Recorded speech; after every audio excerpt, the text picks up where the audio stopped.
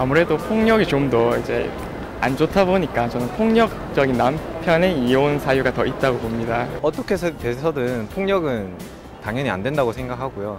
만약에 그 대화로 해결이 되지 않는다면 그때는 서로 어, 각자의 길을 가는 게 맞지 않나 생각합니다. 여자 본인 스스로가 그걸 주체하지 못한다고 하면 남편이 그걸 주도권을 가져가서 좀 컨트롤을 해주는 게 가장 좋은 방법이지 않을까 싶어요.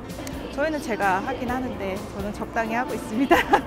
아니 책임을 떠나서 과소비한 아내도 문제가 있지만 어, 일단은 폭력 행사는 잘못된 거고 대화로서 해결할 수 있고 뭐 가계부를 쓴다든지 아니면 생활을 하는 돈을 공유를 한다든지 해서 그 돈을 서로 뭐 현금 카드만 쓴다든지 이래서 해소할 수 있을 것 같아요. 폭력을 휘두르는 거는 그거는 바람직한 일이 아닌데 좀 그저 생각이 서로가 비슷했던 것 같아요.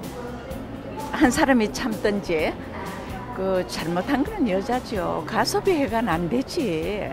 폭력은 안 된다고 생각해요. 저는. 어느 정도 선에서는 가정 형편에 맞게 아내한테도 약간 자유를 주면서 어, 그렇게 해야지. 너무 다 맡겨버리고 가소비라 그러고 그러면서 또 싸우고 때리고 그건 아니죠.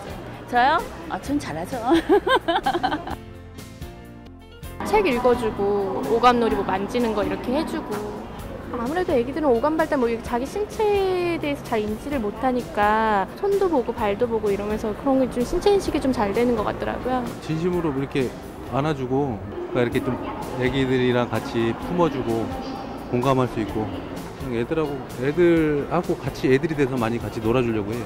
성장해서 인성에 도움이 많이 될 것 같아요. 책도 많이 읽어주고 저는 근데 책 대신에 좀 나가서 놀고 문화센터 이런 데 많이 데리고 가는 편이거든요. 그냥 사회성 친구랑 잘 어울려 놀고 그런 거. 밝고 건강하고 지혜롭게 착하게 잘 자랐으면 좋겠어요. 대화 많이 하고 알아들으나 못 알아들으나 그냥 많이 사랑한다 그런 말 많이 해주고요.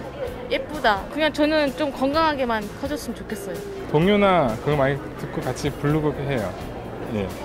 영어 동요도 많이 듣고 해가지고 두뇌 발달 많이 좋을 것 같아서 같이 부르고 하면은 눈빛을 보면 좋아하는 것 같아서 그냥 같이 부르고 그러고 있어요. 엄마가 인내심을 많이 가져야 되겠더라고요. 애들이 하는 거를 좀 지켜보고 이거 하, 이거 할까 이거 할까 물어보고 애기의 의견을 존중하려고 좀 노력하고 있어요. 옹알이 옹알이 하면 계속 얘기를 많이 해줬던 것 같아요. 얘기를 많이 하니까 언어 발달이 되게 빠르고요. 그리고 얘기하다 보면서 더, 어, 이건 뭔데? 제가 무- 말한 거에 대해서 그건 뭔데? 이렇게 물어봐서 좀 더 생각이 더 깊어질 때도 있고 하고 싶은 거를 찾는, 찾게 해주는 엄- 엄마 아빠가 되고 싶고 자기가 하고 싶은 걸 찾았을 때 또 그거 도와줄 수 있는 엄마 아빠가 되는 게 제일 좋겠죠, 애들한테는.